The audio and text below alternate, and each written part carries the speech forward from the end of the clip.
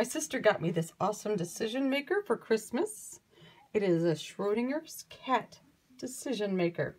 So you ask it a question, say like, um, oh, well, I win a million dollars today? And then you open it up and look, if the cat's alive, it's a yes. Oh, but it's dead. I'm not going to win a million dollars.